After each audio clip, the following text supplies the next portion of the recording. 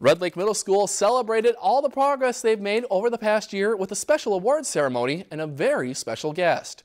Red Lake Middle School has been on a positive path.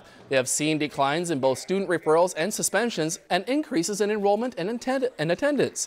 To celebrate Grammy Award winning DJ, DJ Is paid a visit to the school as part of the Turnaround Arts program. Turnaround Arts promotes positive progress in schools with the help of art.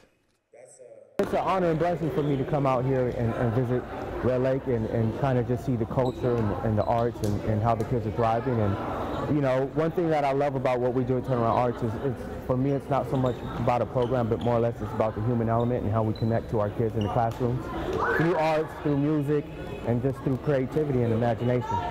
Students also competed in a snow snake competition after the awards ceremony. If you enjoyed this segment of Lakeland News, please consider making a tax-deductible contribution to Lakeland PBS.